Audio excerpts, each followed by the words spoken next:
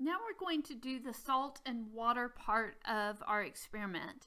And in this part, we make a solution that we know the concentration of, and then we determine its density, and then we'll make a saturated solution of the salt, salt water, and we'll determine its density. And what would you expect the difference in those densities to be? Which one would be more dense? Well, we'll see. Um, okay, so we're going to start by uh, weighing our graduated cylinder. Our clean, dry 10 milliliter graduated cylinder, and we're going to read off a number for it on our balance. It's 27.541 grams. Okay, and then on your report sheet, the next two, number two and three, are things that you need to calculate. Um, there's an example in the notes. And then we're going to uh, make our solution. So let's look at how we're going to make our solution in this test tube.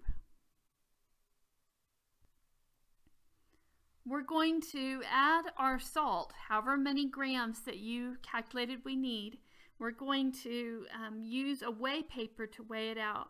And so the way this works is a weigh paper is kind of like a piece of wax paper um, you're going to put that on the balance and then push zero um, so that it reads zero on the scale. Um, and we've zeroed that container out. And then we're going to put our salt on that. As you add the salt slowly, whatever number is down here um, is what the current mass of the salt is. So this makes it easy to kind of add it gradually until you get it up to that mass that you figured out that you needed on number three on your report sheet.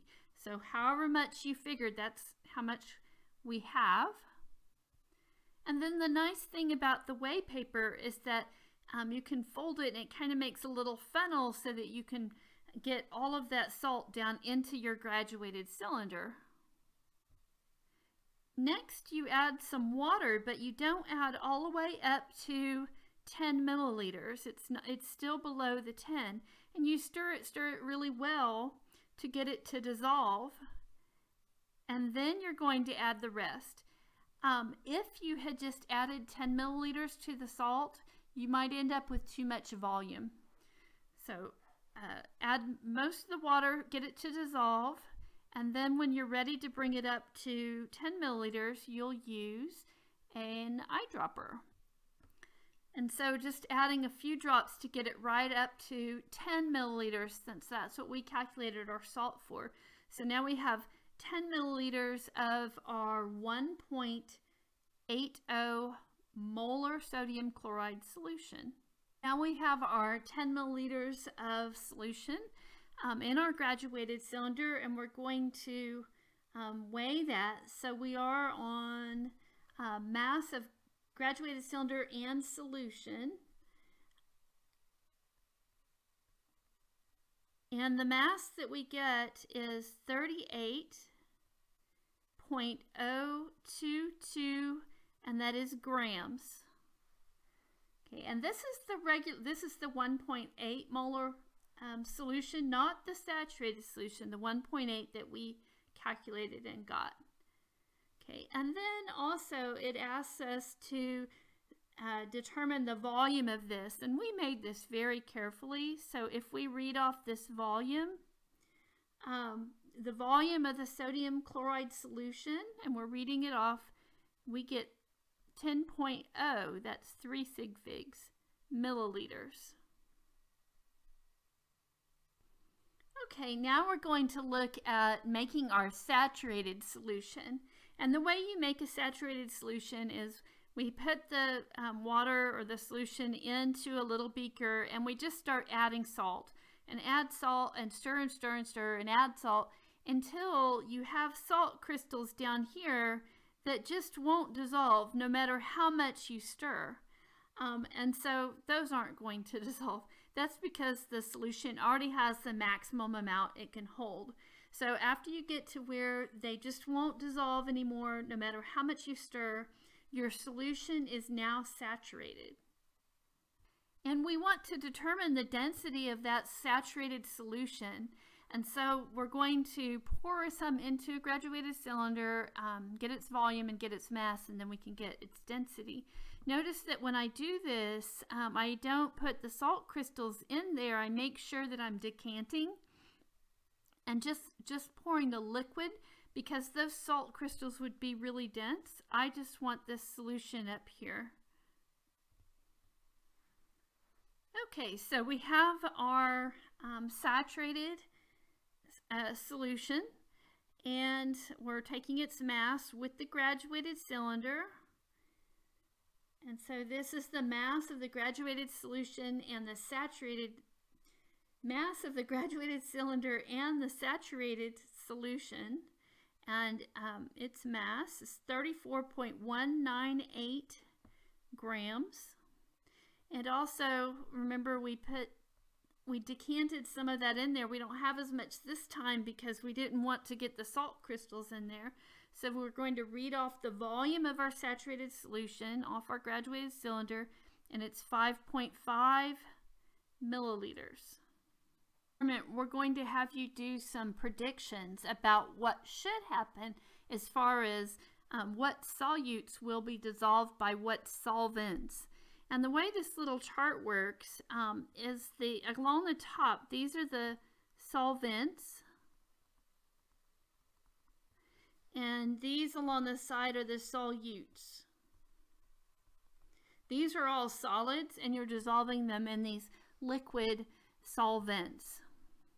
Okay, and the way the chart works is that um, if you are talking about this place right here and, and whether it's um, going to be slightly soluble, insoluble, or soluble, um, what you're doing is you're mixing sucrose and acetone in that spot. And if you think it will dissolve, you're going to put S for soluble. And if you think it might some, you would put SS for slightly. And if you think it won't dissolve at all, you would put I um, for insoluble. And how would you make those predictions? Well, you're going to use the rule like dissolves like.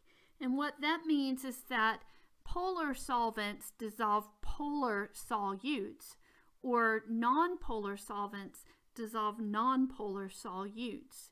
So what you need to know is the polarity of these different substances on here. Let's look at the solvents first. Um, petroleum ether is a hydrocarbon. It is carbon and hydrogen only. And you should know that that will form only nonpolar bonds. And so it is very nonpolar. Uh, water, on the other hand, of course, has oxygen to hydrogen bonds. It can actually form hydrogen bonds between molecules, lots of little partial charges on these um, atoms. So it is very polar. And then acetone is in between. So we actually have kind of a range. Acetone has a lot of carbon and hydrogen, um, but it also has um, an oxygen that allows it to be a little bit polar. So it's kind of a range there. It's kind of a mid polarity. Let's look at the solutes. Um, salt, of course, this is sodium chloride, and it is actually ionic. And ionic is kind of like hyperpolar. So consider that to be very polar. Um, let's skip down to um, iodine. Technically, that bond is nonpolar, so we're going to call that nonpolar. Naphthalene is um, a CNH compound as well, so this is non. We're going to call um, iodine uh, non, it does kind of do something a little weird, but we're going to grade you on the pre prediction of what you would expect. Um, and then, so basically we end up with um, salt being really polar. Those are non, and sucrose is kind of in the middle. Um, it has a lot of carbon and hydrogen, but it also has some oxygens that make it um, pretty polar. Um, not as much as salt, but kind of in, in the middle. So from this, you should be able to come up with a pattern of where like dissolves like would be. Um, And again, if you think it will definitely dissolve, you're going to say um, S. And if you think it might some, then SS. And if you think it won't, then you would say I.